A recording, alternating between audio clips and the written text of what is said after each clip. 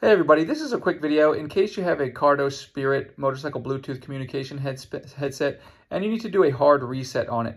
Now you might want to do a hard reset for one of two reasons. The first is troubleshooting. If this headset will not pair with your Bluetooth device or it's not connecting or syncing, or if it keeps disconnecting or if you're having sound issues, any kind of connection or functionality issues can very often be fixed with a hard reset. And if you've already tried a power cycle or a soft reset, it's time to move on to the hard reset. Just keep in mind this will clear out all the pairing information and everything, and you will need to connect it to your device again, um, which is the second reason you might want to do it. If you just want to delete all the pairing history so you can start fresh and connect this to a new device or whatever, um, we can go ahead and do this. What we want to do is with the headset in the standby mode, we're going to just come in and find the three buttons on top, and we're going to press and hold them uh, for about five seconds. And after we hold them for about five seconds um, simultaneously, the lights on the um, headset will flash purple about five times, indicating that the reset is complete.